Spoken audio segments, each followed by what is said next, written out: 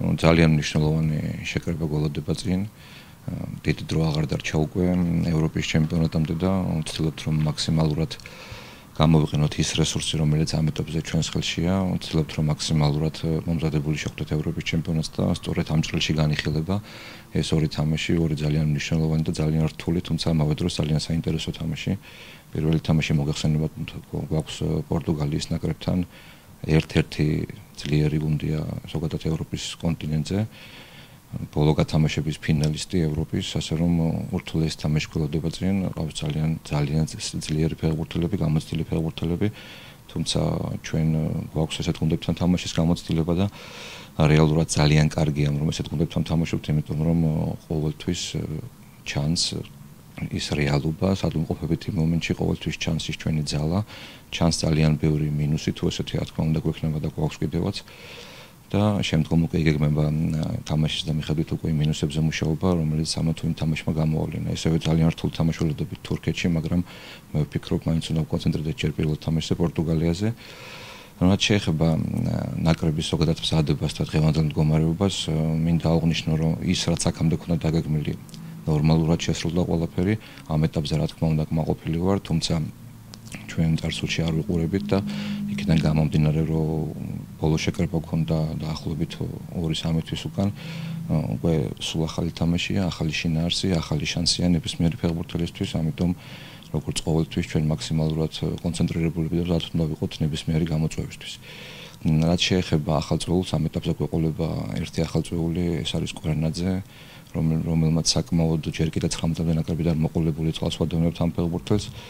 მას აქვს პროგრესი და მან დაიმსახურა ის შანსი, რომელსაც მიიღებს და ვფიქრობ, რომ მისი მისი სახით ძალიან კარგი ფეხბურთელი შეგვემატება, უბრალოდ დანარჩენი ყველაფერი უკვე მასზე იქნება დამოკიდებული. ზოგადად მზადების და სელექციის კუთხით ასევე მინდა აღვნიშნო, რომ გვაქვს გვაქვს პრობლემები რამოდენიმე პოზიციაზე, ვისურვებდი უფრო მეტ კონკურენციას და ასევე ვისურვებდი რამოდენიმე ფეხბურთელს უფრო მეტი სათამაშო პრაქტიკა ქონდეს.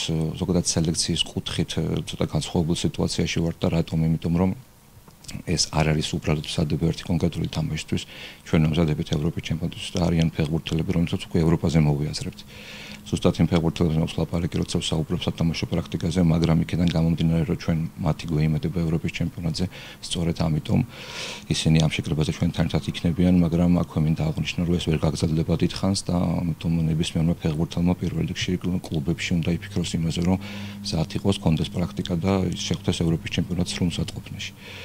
ასევე მინდა შევეხო ლუკა გაგნიძის თემას. პირველი და რაც აუცილებლად უნდა აღინიშნოს, ეს არის ჩვენი მყარი პოზიცია, როდესაც ვლაპარაკობ ჩვენს ამ შემთხვევაში გულისხმობ როგორც პირადად ჩემს აზრს, ესევე მთლიანად ფეხბურთის ფედერაციის აზრს, რომ საქართველოს ნაკრების ფეხბურთელი არა მარტო ლუკა, არამედ ნებისმიერი ფეხბურთელი რუსეთის ჩემპიონატში არ უნდა თამაშობდეს. იმ რეალობიდან გამომდინარე, რომელიც გვაქვს ჩვენ დღეს. ეს არის ჩვენი მყარი და ურყევი პოზიცია. თვითონ სპორტულ მიმართულებას რაც შეეხება იგივე ლუკასთან მიმართებაში მე როგორც ნაკრების წვრთნელის და ეს არ არის მარტო ჩემი აზრი ის ჩვენთვის არის ერთ-ერთი იმედის მომცემი ფეხბურთელი რომელიც არა მარტო საქართველოს ნაკრებს არამედ მთლიანად ქართულ ფეხბურთს უნდა გამოადგეს. ჩვენ ქონდა მასთან კომუნიკაცია მასთან კომუნიკაცია ქონდა ფეხბურთის ფედერაციის მესვეურებს ამიტომ მან იცის ჩვენი პოზიცია მან იცის ჩვენი მიდგომა ამ საკითხის მიმართ ჩვენ მოვისმინეთ ფეხბურთის პოზიციაც და საბოლოოდ საწოლება მივიღეთ რომ ის ამ შეკრებაზე იქნება ჩვენთან ერთად და პირველ რიგში ის თავარი მოტივი რის გამოც ის ჩვენთან ერთად იმყოფება ამ შეკრებაზე არის ის რომ მან რაც შეიძლება მალე იპოვოს ის მომავალი რომელიც უკვე უკავშირდება ევროპას და რომელიც საჭიროა მისი განვითარებისთვის